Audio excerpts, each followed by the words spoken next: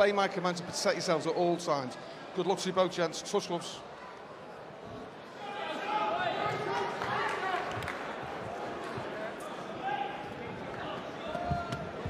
Robin Zamora has a tough job here tonight. Sean Noakes in his fifth professional fight. Watched as ever by his younger brother. Sam, right there, centre picture, next to Francis Warren. And the gentleman with a formidable beard.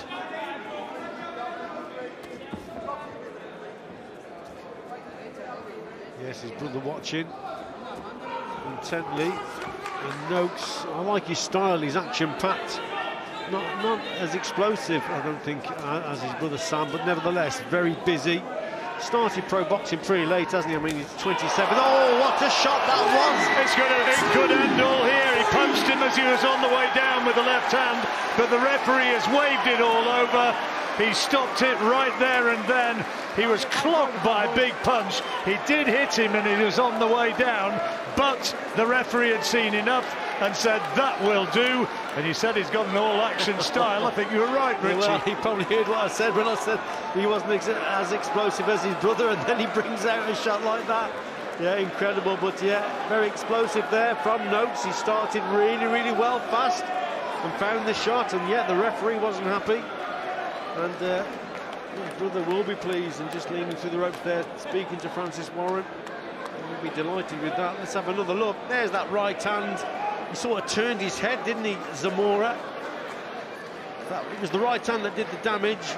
Zamora turned his head. Let's have a look another look here. There it was. What a shot that was.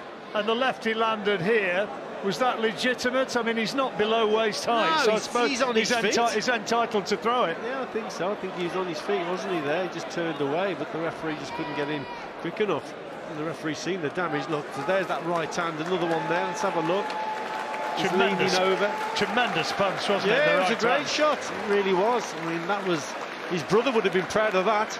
And I think he's uh, talking to him through there. Look, talking to him through the ropes there, yeah. He was well chuffed. Pointing to his eyes as much as to say, you don't need to tell me, I saw it. I saw what you can do.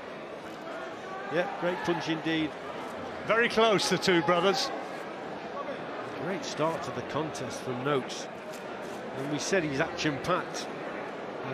But yeah, it's his brother that's been, been showing us that, that kind of power and those types of displays, knocking guys out. But um, there, Sean, that was a super punch indeed. Great It finish. was. First round stoppage, his third stoppage victory. It makes it five out of five as a professional. And here's Dev Sani. Ladies and gentlemen, at the time of 42 seconds in the very first round, your referee Mark Bates calls a halt to this contest.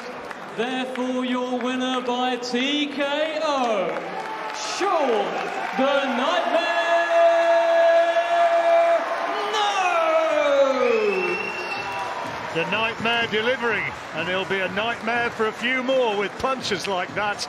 And it'll be a little bit of a family celebration. He's just showing Mickey Burke Sr., his coach, exactly how he throws that right hand. And we saw just how effective it can be.